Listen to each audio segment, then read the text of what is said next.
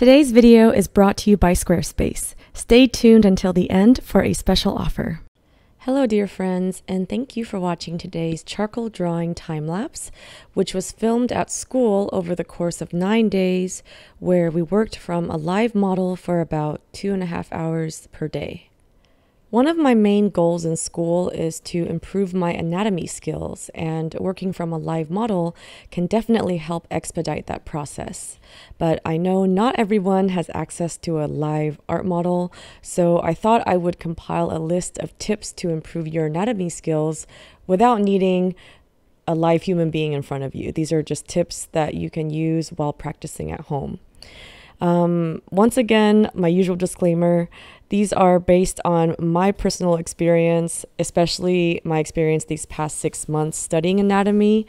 Um, so, as always, please just feel free to take this list as a light suggestion rather than a strict rule book. Um, even my own methods are constantly evolving, so I don't want to make it sound like my way is the only way to do things or you must follow all my tips or instructions to the T. Um, I always want to encourage every artist to be open to trying different techniques and figure out what works best for you. Anyway, without further ado, here are my five tips to improve anatomy for artists.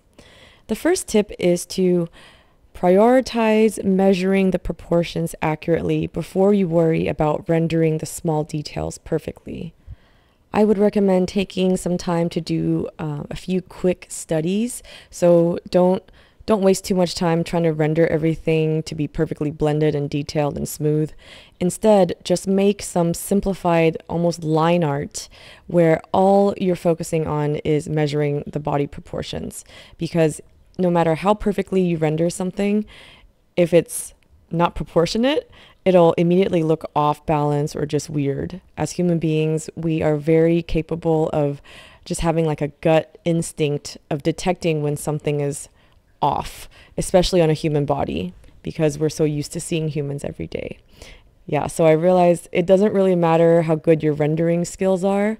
Um, training your eye to be able to accurately uh, see and also depict the correct proportions is another skill that deserves its own dedicated practice and dedicated attention.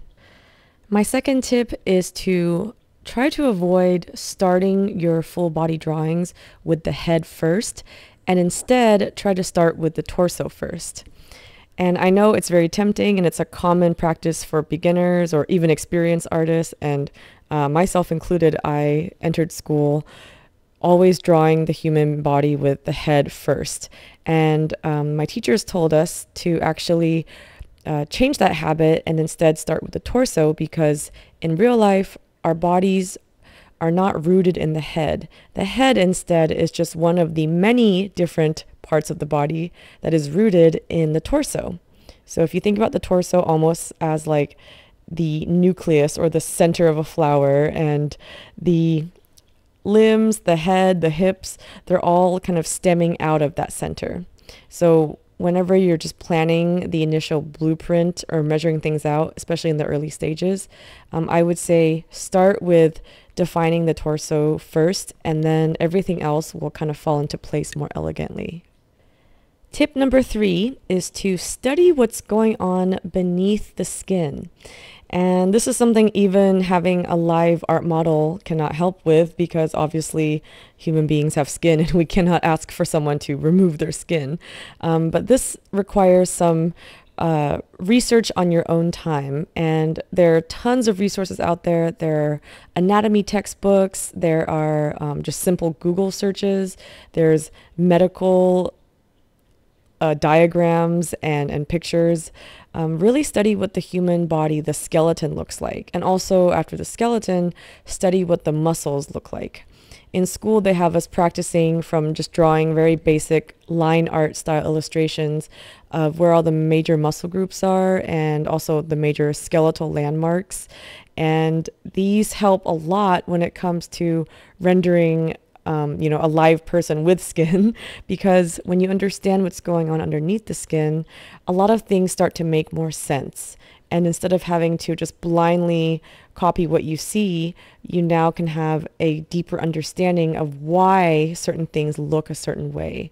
And it just helps as an artist to have that knowledge under your belt because um, a lot of times when we're doing imaginative or fantasy concepts and we don't always have the perfect reference photo or we have to do some guesswork on our own, having a deeper understanding of anatomy as a whole, from the bones to the muscles to the skin, um, can help us kind of make more educated guesses and fill in those blanks and just make our fantasy concepts look more believable.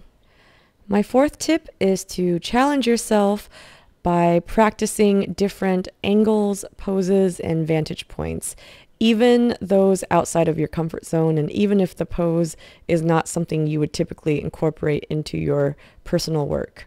Uh, this video right now is a great example. I typically don't work in this kind of extreme profile. Um, I very much prefer a three quarters view, and um, studying like especially the human head from a profile actually gave me a better understanding of the shape of the skull and how the neck and the head can hinge together or like how they're connected or how the neck is connected to the shoulders. Um, these are things that from my usual comfort zone three quarters view, I don't really get to notice or learn. So even if you don't typically paint a portrait of someone, let's say like from the back, where you're just seeing the back of the head and the back of the neck and the back of the torso, um, still try to practice some studies or just even a few quick kind of line art sessions, like I mentioned before. Like, it doesn't have to be perfect or epic, it, it can be a quick doodle. But when you practice your anatomy, um, give yourself the opportunity to step outside your comfort zone and see the figure from all angles. And only then can you have a more well rounded understanding of how the human body works and how the different body parts are connected and how they interact with each other. And my fifth and final tip is to every now and then try to draw an anatomically correct human body purely from memory, meaning don't use any reference photos. And again, this can be a quick doodle, but it's a great way to immediately figure out which areas you're already familiar or comfortable with and which areas you still need to work on. That way, the next time you practice, you can focus more on the problem areas to extract the uh, maximum effectiveness from your practice sessions. I think we all obviously enjoy drawing and painting the things that are easy for us or that we're already pretty good at because it's satisfying to make something look good. Um, but I think when it comes to practicing and just building up your fundamental skills, it's important to kind of go the opposite direction. Focus more energy on the things that are challenging, that are difficult, that you don't understand yet, that that don't feel super fun or satisfying uh, to draw because you know they present a huge amount of hurdles. Um, only that way can we improve. So uh, sometimes when you're doing studies or when you're not working on pieces that are going to clients and you don't mind, you know, making things that don't look perfect, um, I would say those are the opportunities where you can really maximize uh, your learning potential by focusing more on the areas that you have trouble with. And trying to draw a human body purely from memory is a great way to quickly pinpoint those trouble areas. And those are all my tips. Thank you all so much for watching this far, and I hope I was able to be helpful in some way. I hope I made sense. Um, if you would like to see a longer 30 minute version of this tutorial where I go more in depth into the tips and the materials, along with hundreds of hours of exclusive content, feel free to check out my Patreon at patreon.com slash happydartist.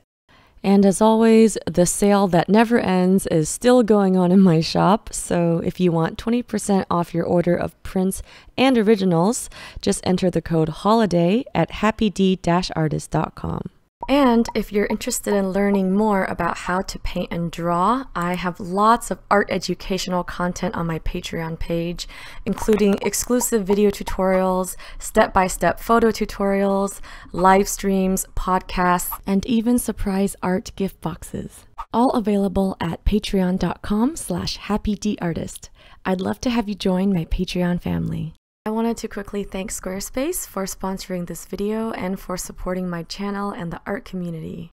I've actually enjoyed using Squarespace for four years now to build and host my online shop and website. So, whether you need a domain, website, or online store, make your next move with Squarespace.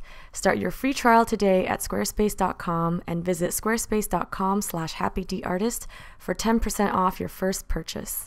Also, if you want to check out more artworks, works in progress, and just random daily artist adventures, feel free to check out my Instagram and you can follow me at the handle at happydartist.